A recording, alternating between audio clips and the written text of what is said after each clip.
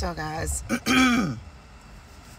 so guys, I'm sitting here and realizing that there's a been a message about a IT power outage that's affecting the airlines, the banks, um, what else they say, um, all kind of stuff.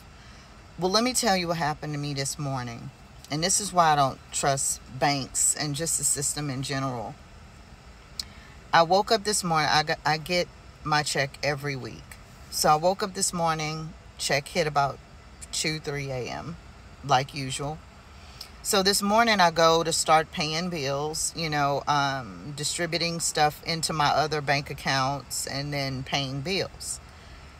So I go to my main account.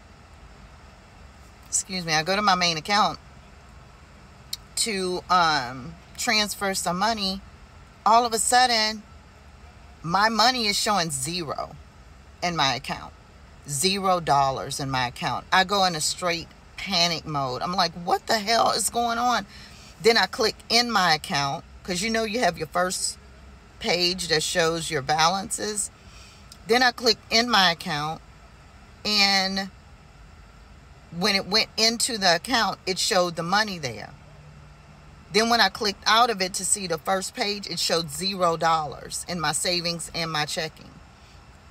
I'm panicking.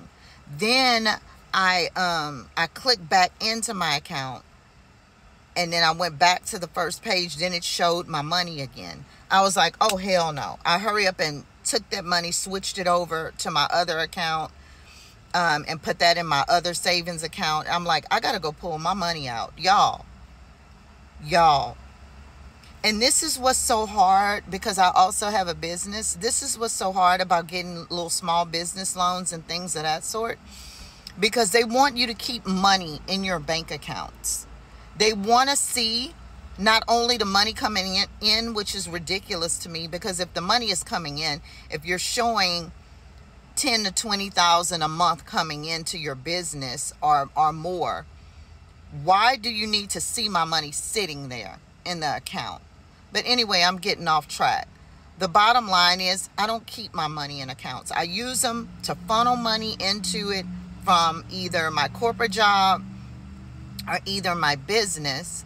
And then as soon as it hits, I go and pull that shit out. And then I, I have a safe that I keep. I'm not going to say where I keep it, but I have a safe that I keep. Um, that I put my cash in. And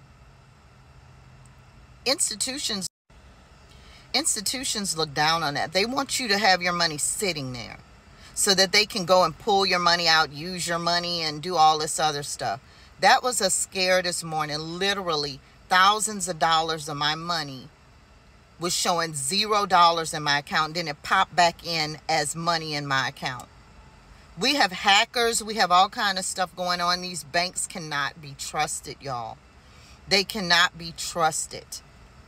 So going forward i don't give a fuck. Going forward when my money hits my account i'm going straight to the bank and i'm taking my money out. Y'all better start paying attention man. It's some shit going on. It's some serious shit going on in this country and one day you're going to be having your money. I don't want to put this into the into the universe but it happened this morning to where my money went into my account and a few minutes later showed up as zero dollars in my account and then reappeared back in my account. This shit is scary. So just fyi y'all go into y'all bank accounts and check your bank accounts because there's a glitch going on and i have good i have good banks. I have bank of america.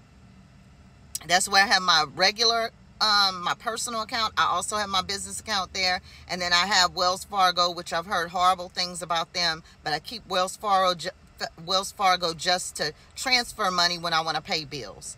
But these banks y'all y'all that was the scariest scariest shit this morning. Scary shit, man.